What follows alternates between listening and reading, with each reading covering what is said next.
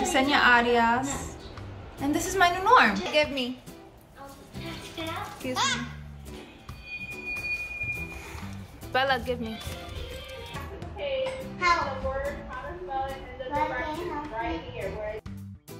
My name is Ayana and this is my new normal.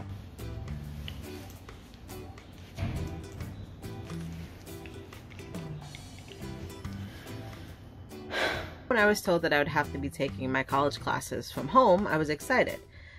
I didn't have to wake up early and travel to school, and the good thing is I made my own schedule, so a lot of my classes were in the late afternoons until the first day of class. Between the bad internet connection and people forgetting to mute their mics, I just knew this was going to be a very interesting semester. I was distracted by the other people in my class and I was worried that my professor would hear or see me even though I had my mic muted and my camera off.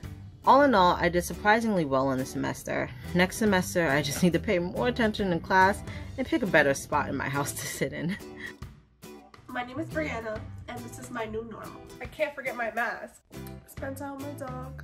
My name is Akira Ramirez. New norms at my home. As soon as we come in, we take off our masks, spray everything from our clothes to shoes with Lysol.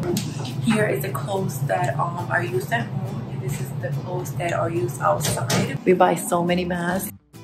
It's part of my new normal when I have to wait for my child to get their school books and things ready for class.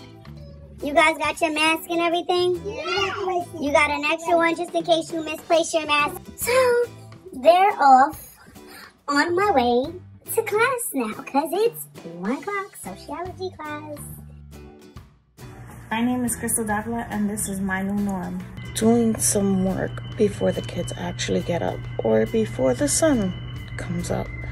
But either way, I'm fine with it because my view just helps me out so much. Just picturing something else other than what I'm really doing so that I can get through what I have to do. Mommy has to use the bathroom and I continue doing my work in the bathroom.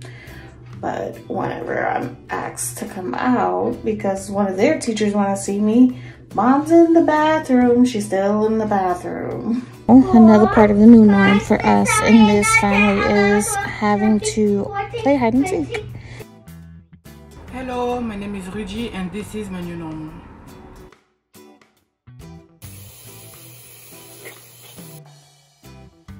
When I had to attend and work and take classes from my room, I felt kind of weird because I was not used to taking classes this way.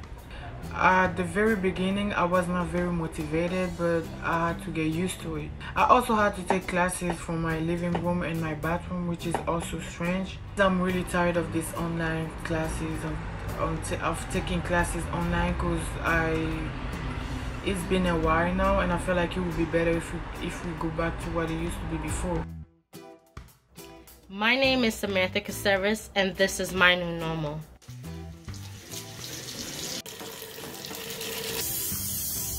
When I had to attend class from my kitchen table, I feel trapped.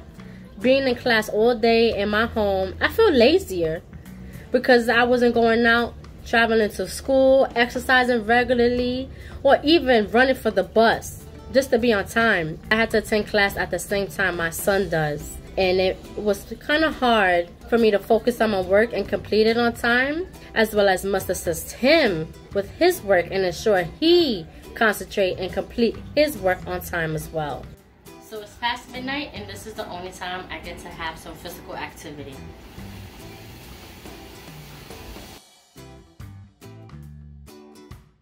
My name is Chris Mar Vargas and this is the new normal. The formal study of folklore began no more than 300 years ago, in the 1700s. And really, by the late 1800s, folklore societies had formed around the world, including the American Folklore Society in 1888, which remains active to this day.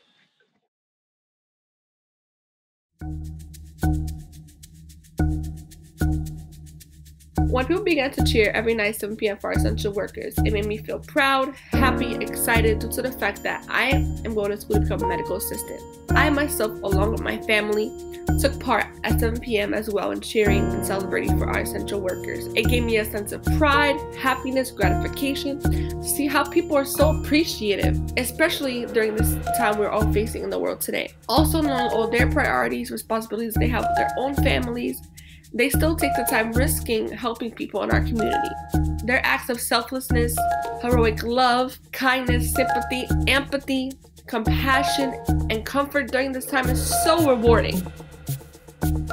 My name is Shaquille. This is my COVID story. As an essential worker, I felt a sense of pride in what I did. I am a delivery carrier, so with everything shut down, ordering from home became a huge go-to move. This pandemic was no joke for my coworkers and I. I am proud to be out there and make some sort of difference, no matter how small it may be. And uh, I would do it again if need be. I felt challenged throughout the entire pandemic. A challenge to deliver the packages safely, a challenge to keep myself from getting into contact with somebody who has the virus. When people cheer at 7 p.m., it makes me happy because people are not only just cheering for, they're cheering for everyone, whether you're a delivery worker or a teacher, a janitor, a home provider. They're cheering for everyone. I needed two jobs to help with my family. We were unemployed. My mom was struggling to get her unemployment, so I needed the two jobs to help. I wasn't told that the majority of the people in my job, co-workers, caught COVID. I left my job for about two weeks because I was scared. One, I have a father who even though he does not have cancer no more, I need to protect him. Being cheered at 7 p.m. in the afternoon um, actually felt really good. It, the pans clicking together, woo, like that actually felt pretty good. Um, I am the only essential worker in my house, so hearing it made me feel like I was doing something great.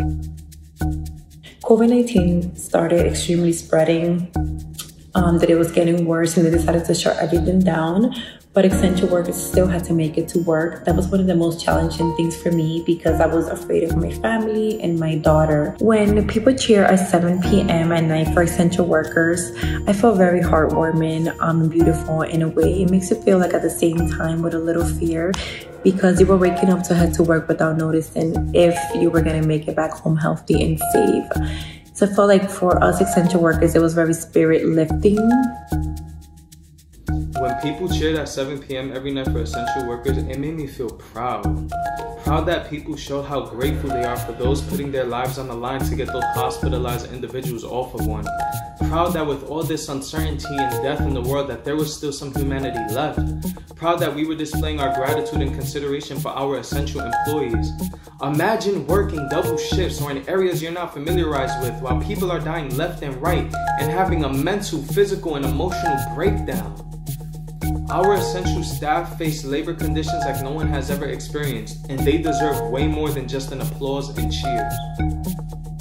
So when I cheered for them at 7 p.m., I was thinking of how courageous they were. And I say thank you to the essential workers.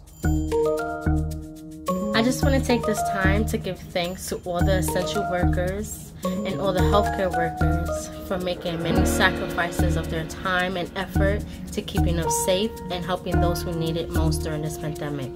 Thank you. Thank you. Thank you.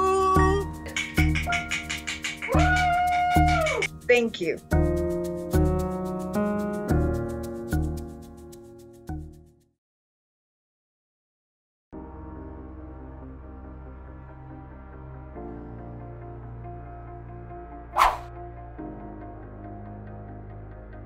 After the lockdown and the large increase of COVID cases, we finally have a vaccine. Thank God. These vaccines are what the whole world has been waiting for. But now that we have them and they're available and ready for us all, people are reluctant. Either they want it, they don't want it, have mixed feelings about it, or they're creating these crazy conspiracy theories. Some of the comments made by individuals are ignorant, funny, and at the same time outrageous. People on social media joked that the vaccine is a chip being implanted in us. Others said that they rather wait for the first round of individuals to get them so that if anything goes wrong, they'll be okay. Yet there were a few that were anti vaccination, which I can understand. I just hope and pray that those who choose not to get it and those that do get it keep themselves and others around them safe by continuing to wear the mask and following COVID protocols. I think getting the COVID vaccine is completely up to you. I think that everybody should do, you know, their homework and look things up. For me personally, I'm not going to say 100% no, but I'm not going to say 100% yes either. I would rather wait till hundreds more people take it and then nothing happens to them, and then I'll take the shot. When I think of the COVID vaccine, I feel many pros and cons. The pros are it can prevent us from spreading the virus and hopefully get us back to our normal life that we're all accustomed to. The cons, however, would be the vaccine just came out. We're all guinea pigs at this point. We don't really know what it has in store for us in the future with our health.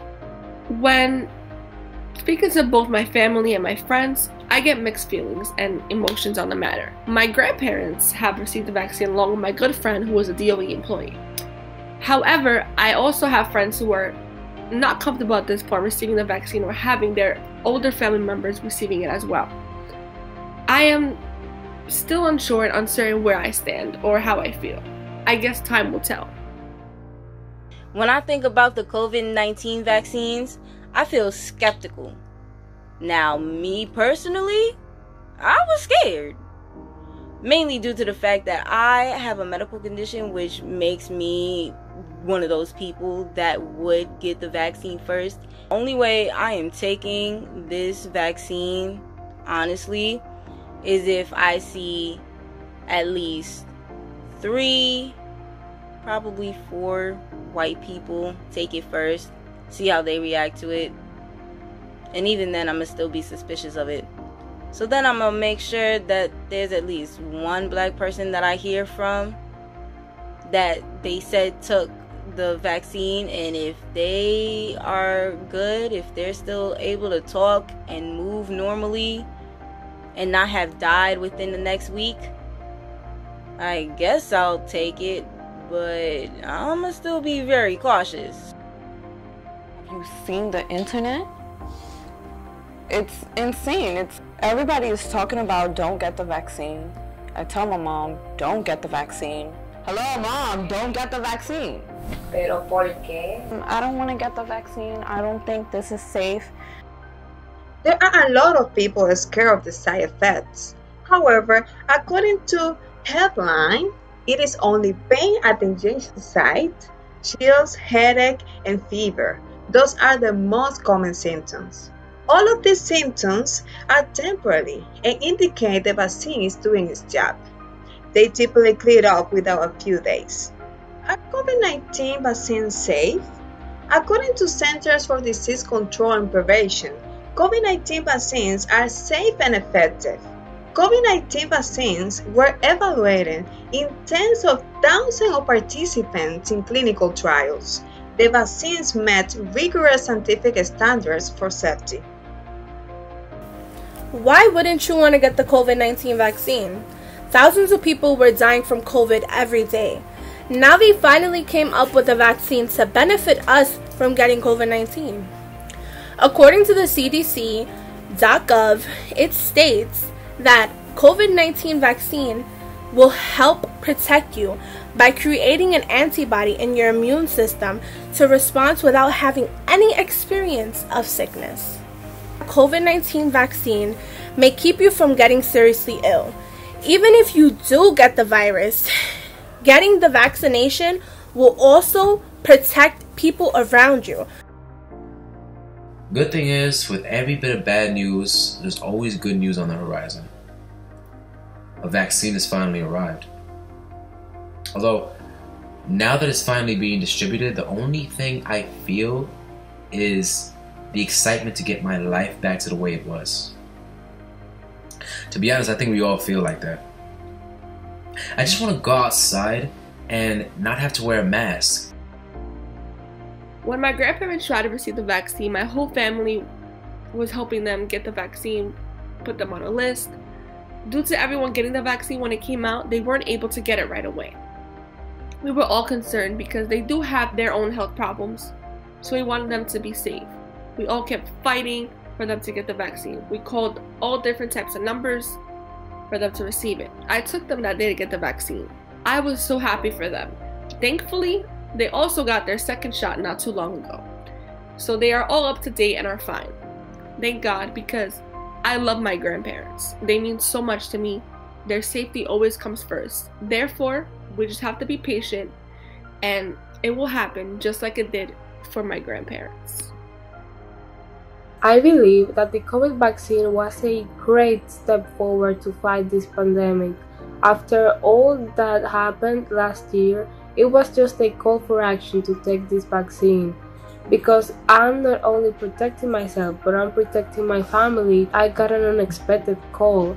A lady told me that they had an open space for me in a vaccination site at my bureau. I was relieved and happy thinking that finally I was going to get my appointment. I am still waiting for my second dose of the COVID 19 vaccine to protect myself and my loved ones. I know that I made a good decision. Because of an article titled What to Expect After Getting a COVID 19 Vaccine on Gavi.org, I now feel that I have better understanding of the vaccine's effect on my body, and I now feel more confident to register to get vaccinated. Hi, my name is Lewis. I'm from the Bronx, and I'm vaccinated. My name is Ayana, and I'm getting the COVID vaccine.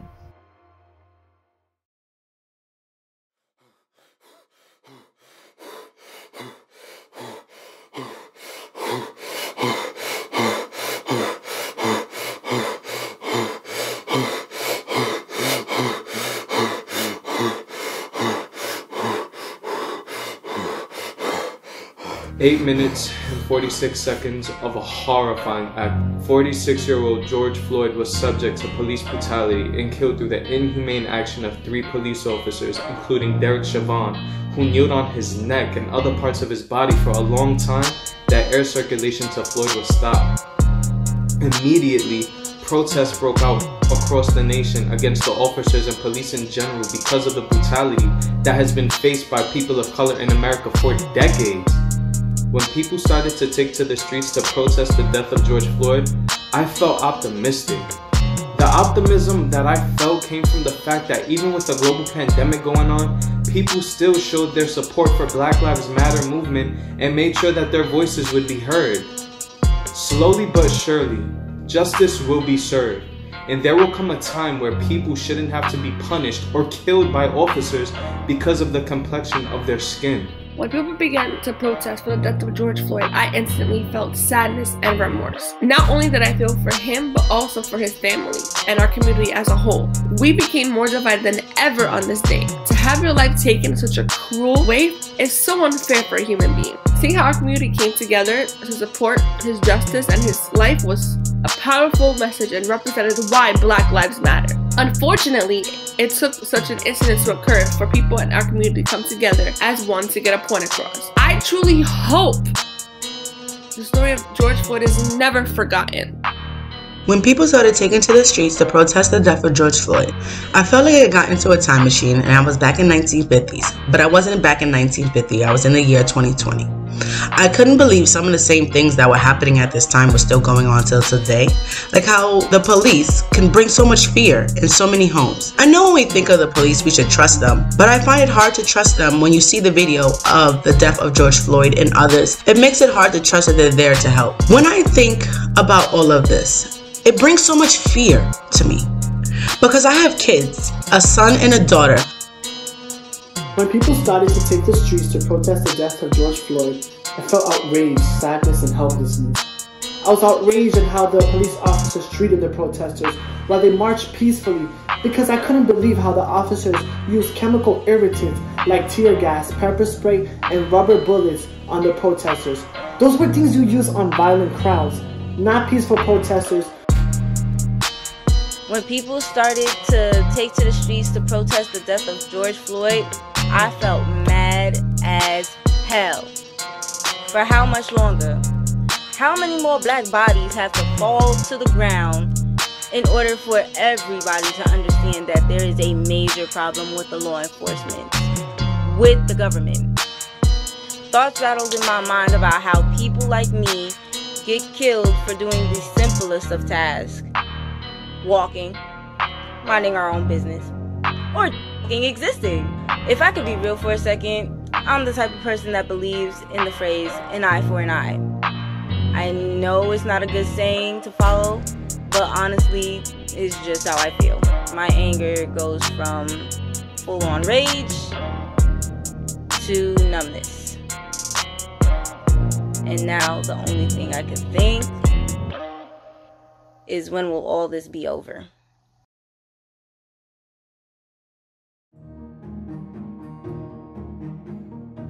I looked on my television and saw something out of an apocalyptic movie. There was smoke everywhere, people were yelling and shouting, and there was gunshots and gunfires and people died. I remember earlier that day that they showed Trump talking to the people, riling them up, and then this happened. The only thing Trump had said afterwards is, We love you, go home. My mom had said that if it was a bunch of black people, they would have shot without hesitation and I had to agree with her.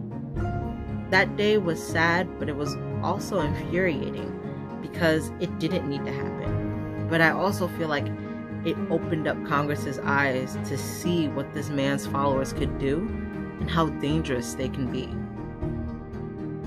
When I saw Trump supporters break into the Capitol, I felt disgusted and embarrassed to be an American and see how these terrorists vandalized the Capitol especially when these Trump supporters spread on how much they love their country and make America great again. But hey, you can't expect more from those type of people. When the Trump supporters broke into the Capitol, it just screamed white privilege. Because how are those people able to enter a place that is top secret and is supposed to have top security? Why wasn't there the same amount of police officers or army troops surrounding the Capitol just like when it was the Black Lives Matter movement? Best believe if black people or people of color were to break into the Capitol, they would be called thugs, delinquents, looters, and many of them would have been dead or shot at. And let people just overtake and act like they're fools. At least make it look like you tried. And yes, I know. The previous president got a mouth on him and he says what's on his mind. But I mean, it's up to the people to do what's right. Really? We're just gonna act like fools? We got this all over the world on the news, how Americans acting like damn animals? No. And we still got the same results? The other guy's the president, guys. Hello, wake up. January 6, 2021 was an extremely upsetting day in American society due to an act committed by hundreds of people who supported 45th President of the United States, Donald J. Trump. Individuals who opposed Trump and his entire presidential career expected that people were going to go crazy, yet they didn't expect it would result in his followers invading the US Capitol building. When I saw Trump supporters break into the Capitol, I was in disbelief and angry. However, I was not shocked. I was perplexed at how they were able to go against all those guards and actually storm the Capitol without major and brute force being applied to them. The fact that they were able to even get inside of the building is puzzling within itself. It was a perfect representation of white privilege and privilege for those that support the same kind of agenda. Again, people have the choice to support who and what they want, but this was an act of terrorism. I just know that if it were nothing but people of color trying to do the same thing, we would have seen a lot of people dying at the hands of the guards and other officials. Heck, they probably wouldn't have even gotten to the stairs outside of the Capitol. When I saw Trump supporters break into the Capitol, I was shocked but not surprised. I was shocked how far Trump supporters got into the Capitol building that the Capitol Police did not use any force to control the situation. Additionally, I was shocked that the government took so long to act on the riot at the Capitol, but when people were protesting peacefully for the Black Lives Matter movement, it took police and soldiers no time to use deadly force against the protesters. So if it was us, black and brown people, who would have caused the riot, they wouldn't have hesitated to kill us relentlessly.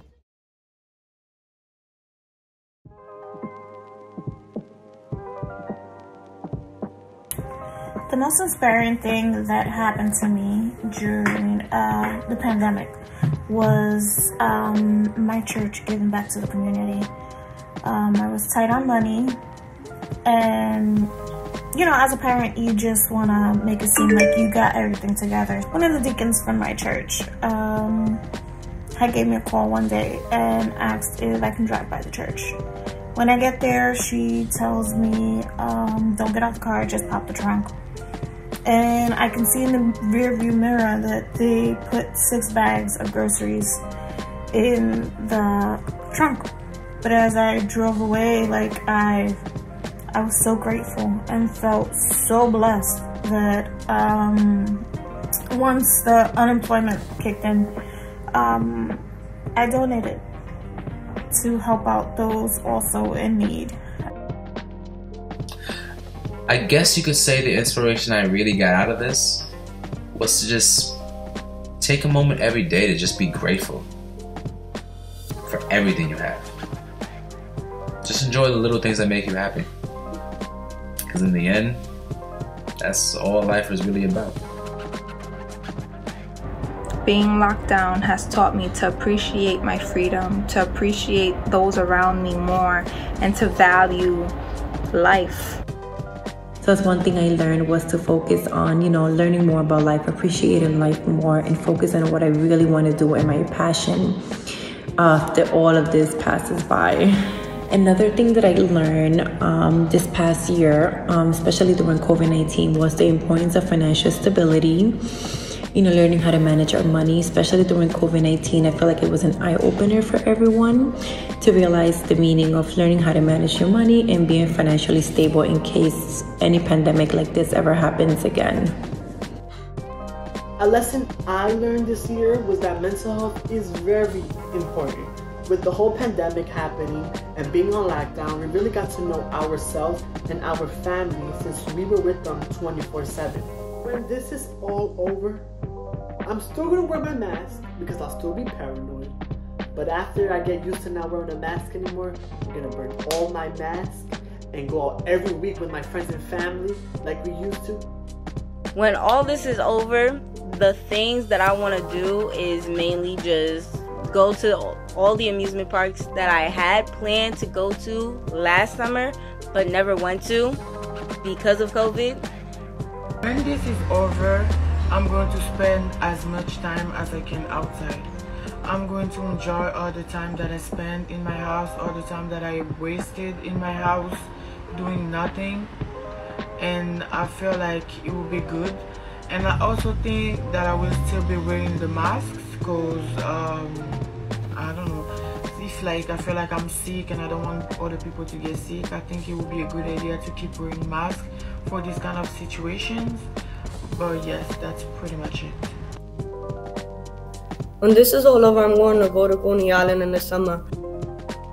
When this pandemic is over, ah!